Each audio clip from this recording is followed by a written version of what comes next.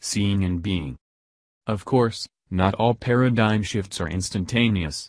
Unlike my instant insight on the subway, the paradigm shifting experience Sandra and I had with our son was a slow, difficult, and deliberate process. The approach we had first taken with him was the outgrowth of years of conditioning and experience in the personality ethic. It was the result of deeper paradigms we held about our own success as parents as well as the measure of success of our children.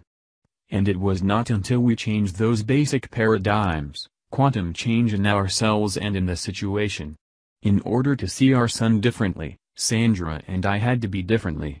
Our new paradigm was created as we invested in the growth and development of our own character. Our paradigms are the way we see the world or circumstances not in terms of our visual sense of sight, but in terms of perceiving, understanding, and interpreting.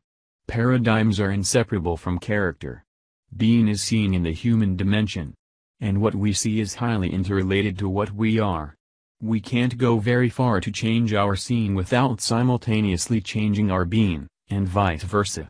Even in my apparently instantaneous paradigm-shifting experience that morning on the subway, my change of vision was a result of and limited by my basic character. I'm sure there are people who, even suddenly understanding the true situation, would have felt no more than a twinge of regret or vague guilt as they continue to sit in embarrassed silence beside a grieving, confused man.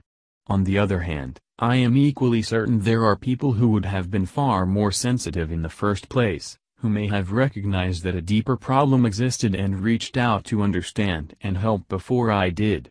Paradigms are powerful because they create the lens through which we see the world.